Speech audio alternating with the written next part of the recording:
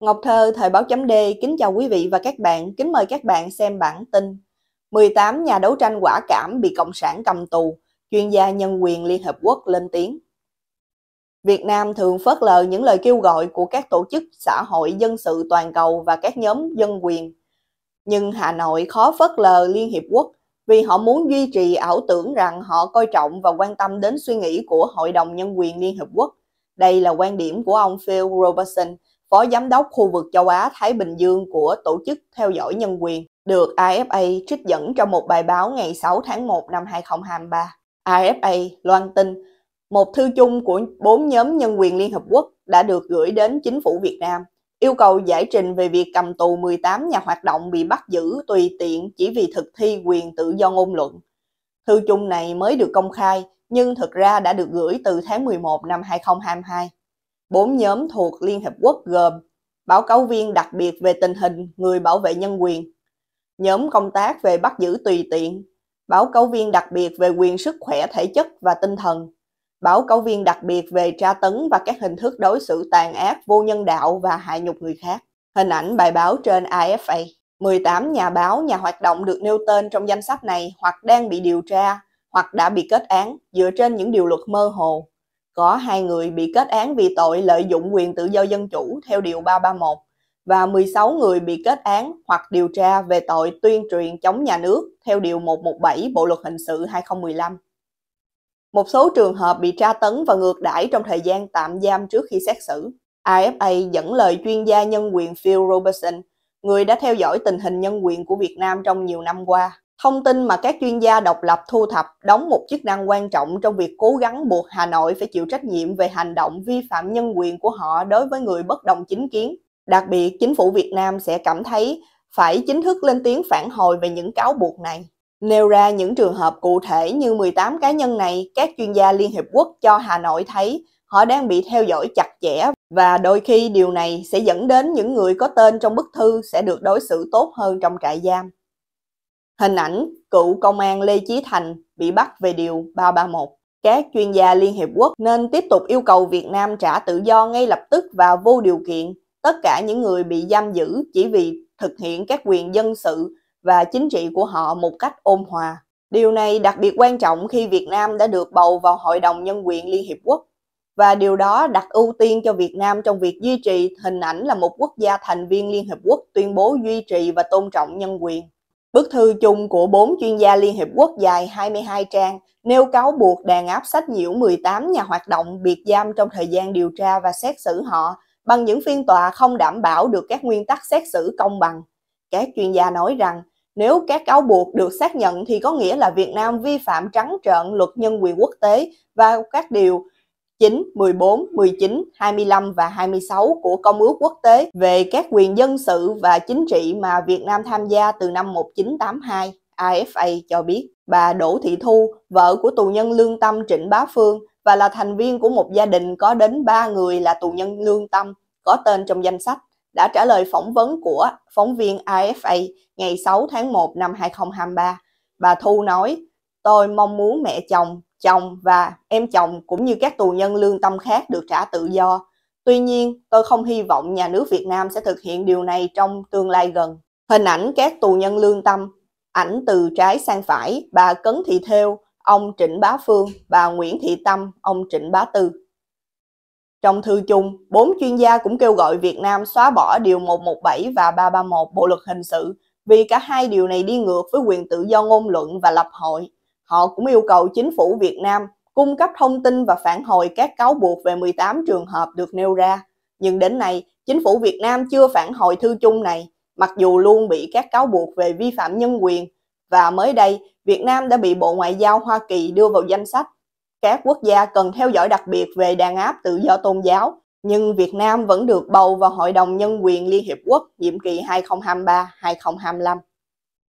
Quý vị và các bạn vừa theo dõi chương trình cập nhật tin tức do Ngọc Thơ, Thời báo chấm D với bản tin 18 nhà đấu tranh quả cảm bị Cộng sản cầm tù, chuyên gia nhân quyền Liên Hợp Quốc lên tiếng. Quý vị và các bạn hãy chia sẻ video này để nhiều người cùng biết, cũng như bấm nút đăng ký kênh youtube và facebook của Thời báo chấm D để được cập nhật những bản tin mới nhất, nhanh nhất và trung thực nhất.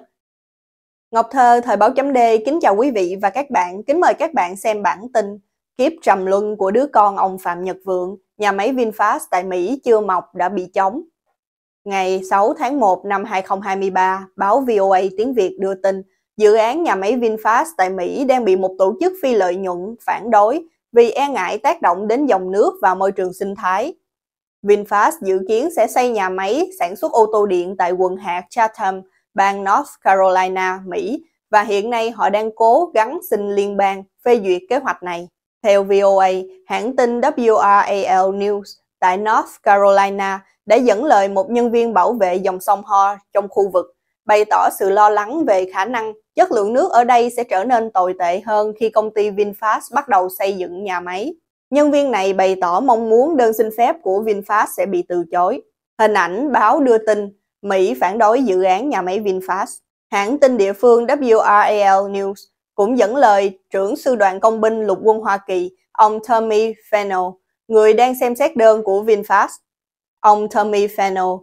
nói chúng tôi sẽ xem xét dự án này một cách toàn diện và đảm bảo rằng không chỉ những tác động trên vùng đất, ngập nước mà còn đối với môi trường của con người chủ sở hữu của những bất động sản liền kề, môi trường nước và tác động của toàn bộ dự án đều được xem xét cùng một lúc. Đơn xin phép của VinFast dài 284 trang có đoạn, nhìn chung các tác động dự đoán của dự án được đề xuất ở mức vừa phải so với các loại dự án tương tự trong khu vực